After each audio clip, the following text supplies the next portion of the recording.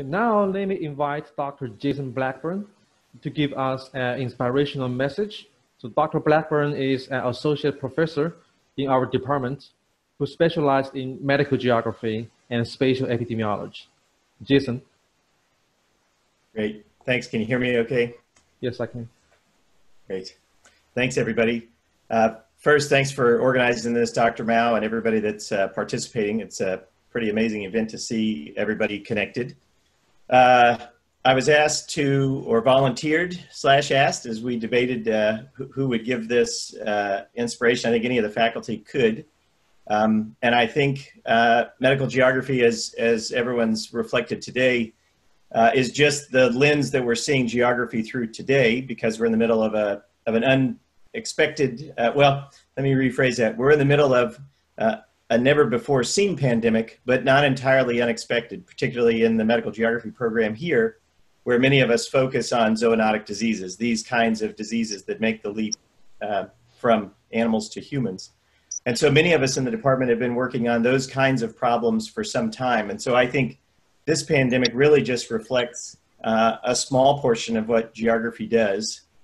Um, I think in terms of inspiration, it's not really us, the faculty, it's really the students that are here today. You've shown us how to be flexible, you've shown us how to adapt, and you're all excelling and achieving. So that's been, uh, I think, really fun and motivational for us. Um, I think a lot of us have, have talked about and commented. In fact, we just heard the candy reference. Uh, I'm not even a big candy eater, and Jane has me sold on uh, stealing more candy than I need. Uh, Jane has overhauled that physical space in an amazing way. Um, but I think what we see today is that space is, is everywhere because it's in us. Um, so that's been very exciting to see. Uh, this pandemic has shown us with things like dashboards, social media maps, New York Times uh, maps all over the place that these geospatial analyses are everywhere. But it's not just in mapping the outbreak that geography has been uh, excelling. We're seeing it in all the discussions about social inequity. We're seeing it in all the discussions about where to reopen and how to reopen and when to reopen and what are our healthcare access demands. Um, all of the discussions about flattening the curve have really been geography discussions. Where do we focus those energies first?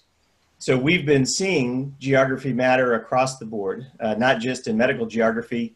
Uh, I just think this is an event that puts us front and center I think come uh, August and September, another group of our faculty will be right in the mix of it front and center, talking about hurricane risks, talking about community resiliency. Uh, so those uh, faculty will, will have uh, as much to say then uh, as we do now. So I think uh, the Geography Matters slogan has been floating around for a long time, and I think events like this globally and communities coming together like we have today just show uh, how it matters and why it matters.